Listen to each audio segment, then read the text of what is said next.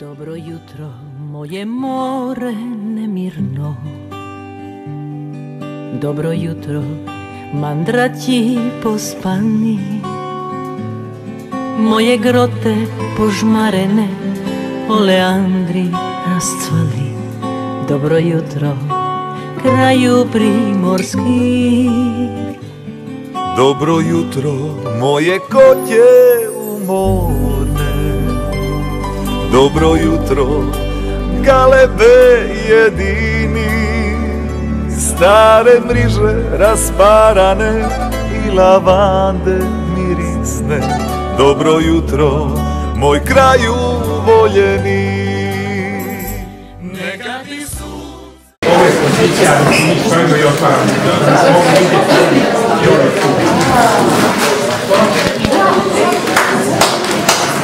Dobro večer svima.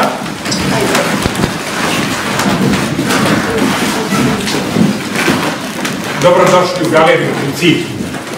Dobrodošli u Normandiju. Dobrodošli u svijet Normandije Žarka Dijatovića. Pozdravite našeg autora, ja vas molim.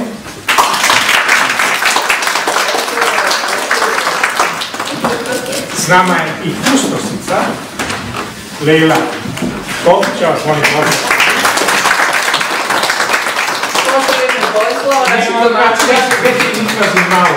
Nije, nije, nije, hvala. Dakle, imam potrebu i moram nekoliko uvodnih rečenica reći da misija, zadaća galerije Principi je da u Rijeku dovodi svjetske autore, fotografske autore, fotografe, da oplemeni prostor, kulturni prostor. Isto tako ima zadaću da riječke autore promovira u Rijeci i izvan Riječke. Dakle, taj jedan suodnos svjetskog, evropskog, hrvatskog i riječkog. Dakle, misija je da pravimo dobre fotografske izložbe u ovom prostoru. Godišnje napravimo nekoliko tih izložbi. Ove godine smo napravili međunarodnu izložbu tema čovjek, pa smo predstavili italijanskog autora Milenotija, pa smo predstavili sjajnog profesora sa Banjoločke umjetničke akademije Draga Vejnovića, koji je čak demonstrirao rad analogne fotografije ovdje. Onda smo imali međunarodnu izložbu na temu vode pod nazivom Treći element i večeras predstavljamo Normandiju Žarka Vjatovića. Žarko Vjatović živi u Parizu i baštini sa svojim školovanjem, obrazovanjem, završio je Zagrebačku akademiju likovnih umjetnosti, svo nasljeđe slikara i onih koji su stvarali evropsku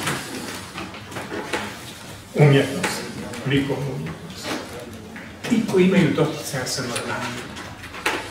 I on film bi bilo lijepo obrazlaže što jest fotografija. Premda je školovao se za plastičnog slikara, sada se temeljno bavi fotografijom. Naša kustosica je sjajan naslov danas, ću dobro reći, razlog gledanja.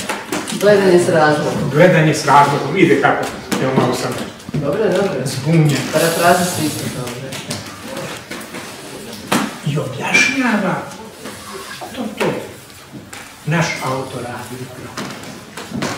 Naša je misija da to pokažemo ovdje. Posebno mi je drago da je ovdje ekipa mladih ljudi, učenika koji se školuju dijelom za fotografiju iz Prodoslovne grafičke škole. Evo, mladić se naravno da je lijepo, ja sam im malu priču ispričao, oni će sada čuti autora i pustosicu. I pozivam vas da ideju galerije principi pronosite dalje, reklamirate i najavljujem sljedeću izložbu poslije Žanka, to je jedna sjajna autorica iz Južne Koreje, sjajna svjetska autorica, ovdje će biti njena izložba. Hvala vam lijepo što ste imali strpljenja da me slušate, dajem riječ gospodinu. Hvala vam, Izvolite.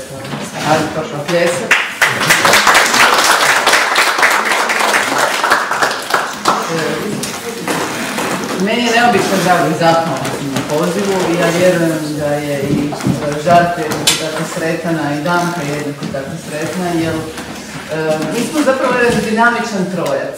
Sad ću vam objasniti zašto. Naime, mi smo prije nekoliko godina, to je bilo prije covid posjetili Normandiju. Ja sam posjetila Žarka i Gamku u njihovom pariškom sjedištu, rekla bih, a onda su oni mene poveli da vidim tu famoznu Normandiju. Zbog čega? Zbog toga što sam ja studirala povijest umjetnosti i komparativnu književnost i htjela sam vidjeti kako izgleda to mjesto gdje je Marcel Proust osjetio kolačić Madeleine, mjesta gdje je šetala Margaret Duras, a htjela sam naravno i kao povjesničarka umjetnosti vidjeti sve one motive koje je prikazivalo Gustave Courbet, Gustave Caebo, Budan, Pissarro, Monet i još mnogi drugi.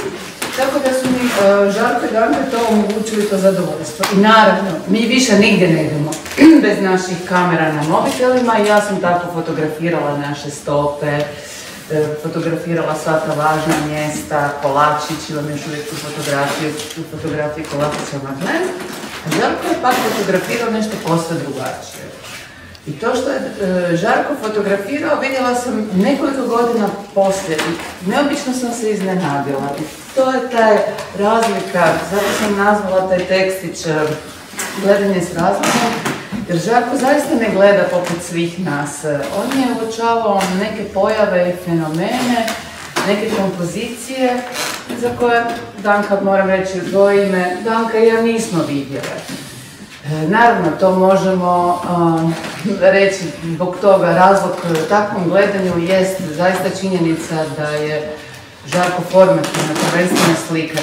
Međutim, u, njegovu uh, slikarsku formaciju upisuje i nevjerovatno poznavanje povijesti umjetnosti. Naime, osim što me poveo kroz Normandiju, uh, kroz uh, Žarko me često zna provesti i kroz muzej d'Orsay i muzej Louvre. I to što Žarko prepoznaje i vidi i kako radi komparacije, različite usporedbe i nijansiranje, oduzimanja i primjedbe i dodatke slikarima i slikarskoj tradiciji zapadno kulturnog kruga je nešto što se zapravo pojavljuje u njegovim fotografijama, ali ne na uh, vidljiv način, nego je subtilno upisana uh, u kompoziciju svih njegovih fotografija, ne samo iz ovog ciklusa.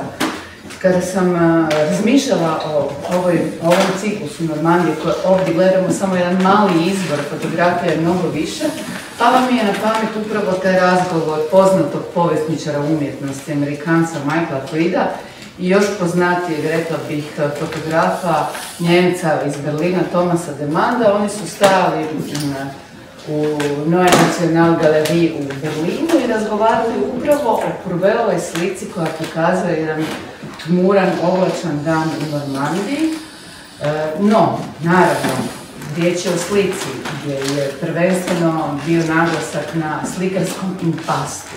Nije dakle bila glavna kompozicija, nije dakle bila glavno pitanje nego impastu. I onda je Thomas de Man koji uglavnom e, fotografira makete, i od tog radi vrlo zanimljive, interesantne kompozicije, rekao je, tja, to je nešto što mi fotografi ne možemo dobiti. Dakle, taj impasto, taj, tu gustoću nama za. I ono što je mene, mm, e, što je mene zapravo privuklo je ideja da Žarko Vijatović na neki način mijenjajući svoje planove i gradeći svoje kompozicije od općeg prema posebnom, na neki način stvara u našem unutarnjem oku, dakle u tom kognitivnom pogledu, upravo taj impasto za koje je Demand rekao da ga je nemoguće dobiti.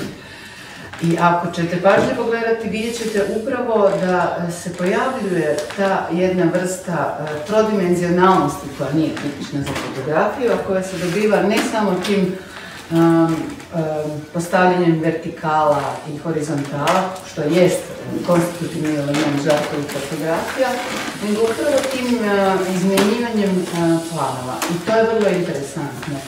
Osim toga, ono što je zanimljivo jest da Žarko Dijatović na neobičan način bira motive. Svi smo mi svjedoci toga da instant fotografija koja se pojavljuje na društvenim mrežama, privlači našu pažnju sa mjestima koje su nam poznate. Naš pogled, tako psiholozi kažu, prepoznaje uvijek ono što smo vidjeli. I naravno, Žarko Vijatović, budući da je posjećivao Normandiju nekoliko, puno, puno, puno puta, je mogao napraviti zanimljive turističke fotografije koje bi se pojavljivale u časopisima u avionima, koje bi bile izlagane u nekim važnim galerijama, a međutim on je izabrao potpuno drugi put. E, ako ćete promatrati ovaj red, vidjet ćete da je tu e, prikazan i Mont Saint-Michel, jedan od e, najvažnijih baštinskih gradova Normandije. Dakle, svi fotografi hrloje u Mont Saint-Michelu tamo fotografiraju prizore. Međutim, Zarko Prijateljić ga pokazuje na potpuno drugačiji način. Nije u prvom planu, dakle, arhitektura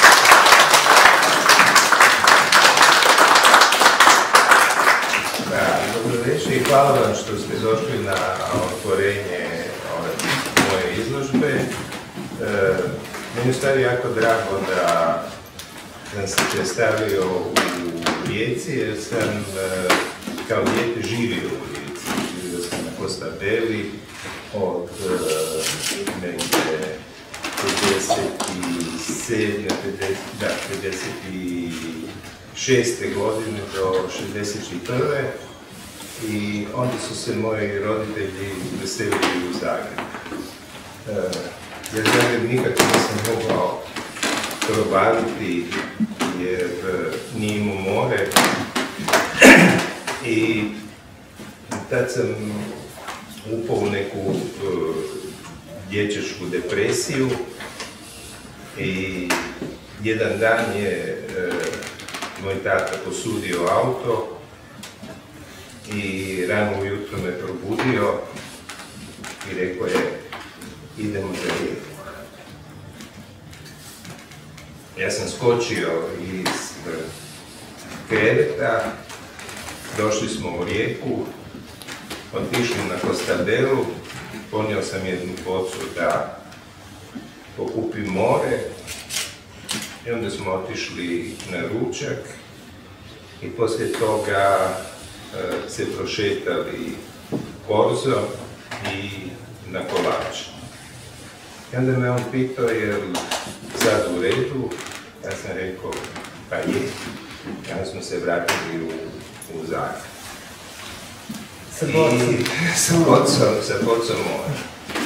Tako da uh, sam se igrom slučaja uh, zaljubio u Danku, a Dankini roditelji e, imaju kuću u Omšu. I onda sam se ja poslije toliko godina vratio na taj isti pogled, a to je Učka i zalasci sunca. Da sam ja kao djeto obožavao te zalaske sunca za, za Učkom i čak sam radio male crteže koje je moja mama sada, kao starac od 72 e, godine, ja već uporno deseta godina snimam u izomišlja te zalaske sunca i radim na nekom e, ciklusu koji bi se uvjetno trebao zvati Kvarner Tarner, jer E, te moje fotografije su dosta bliske e, Turnerovim akvarelima. Evo. Da vas ne vidiš. Možemo vidjeti kako to izgleda, nećemo Ideja je odmah. Eto. To je to. Ali da nam reći još koliko puta si e, promatrao, koliko si puta obično na manju Pa pa ne znam, puno. Puno zbog toga što dakle ima prijateljci koje žive u Normandiji, ali smo ljudi često pozivani tamo. I ja kad sam prvi put vidio te pesarine, sam bio apsolutno slomljen, fasciniran i e, odmah sam skočio i počeo sam snimat bez ikakvog koncepta, bez e, čista, na čistu intuiciju sam išao. I to je moj neki princip kako ja kako ja snimam, na intuiciju. Tako da, e, tako da, e, a što se tiče kompozicija o, o kojima si ti e, pričala, za to trebam taj osjećaj za kompoziciju, stvari trebam zahvaliti svom profesoru za likovne akademije Zvonimiru Radiću, koji je bio član grupe Exat i svoju profesuru koja se zvala Teorija prostora gdje smo mi vukli neke linije, pa radili kompozicije i to sve. On me naučio gledati pozitivnu, negativnu formu, e, kako doći u to, to stanje, da u trenutku kad, e, kad osjetiš nešto u tom trenutku reagiraš. Da. Tako da njemu zahvaljujem e, jer bez njega ne bi bilo ovoga, a moram reći i bez Lele, i bez Lele, jer ja to nikad nisam vidio kao zaseban ciklus normalno. Vidio sam to te nekoliko fotografija u okviru nekog većeg ciklusa Francuske ili tako nešto. Međutim, ona je došla kod nas, ja sam baš tad radio na nekoj seriji fotografija koje onako aktiviram sada i ona je ovaj, i ona je insistirala da napravimo tu izložbu i mislim da je bila u Evo, to je sve. Puno vam hvala što ste...